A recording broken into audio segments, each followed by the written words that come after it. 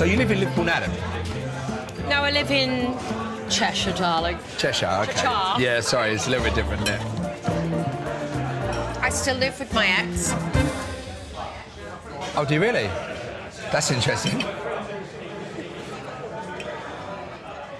So is your is your ex in the public eye? Yeah. He was in uh, the band five. Oh, uh, yeah, that's it. Um,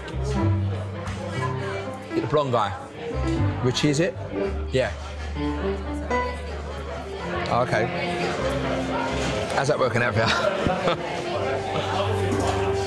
Interesting. We share, we share food in the fridge. We don't share a bed. I suppose it will get weirder if we start dating, I suppose. Like officially dating. Have to stay out those nights. Are you okay though? Did you get on all right? Or Yeah. yeah, Good days, bad days. yeah, of course. It's a strange dynamic. People might judge me from what they see and read in the press, but I mean, I've literally had four relationships my whole life. I've tried so hard to make things as easy for the kids.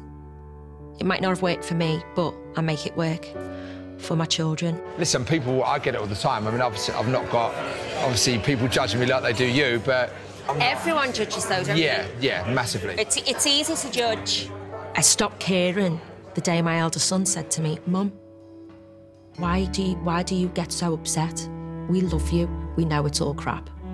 And he told me that over dinner. I feel like I'm going to cry just thinking about it because, you know, that's a kid. And I suppose you just need that reassurance every now and then. That was really nice. Oh, thank you. No oh, worries. what's going to happen now?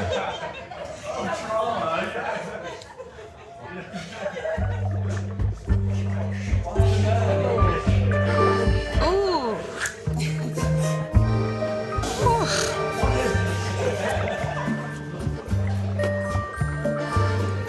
nice, thank you. It's quite sexual. do you know what? Do you know what? I didn't want to say anything, but I was having a little moment then. while you said that.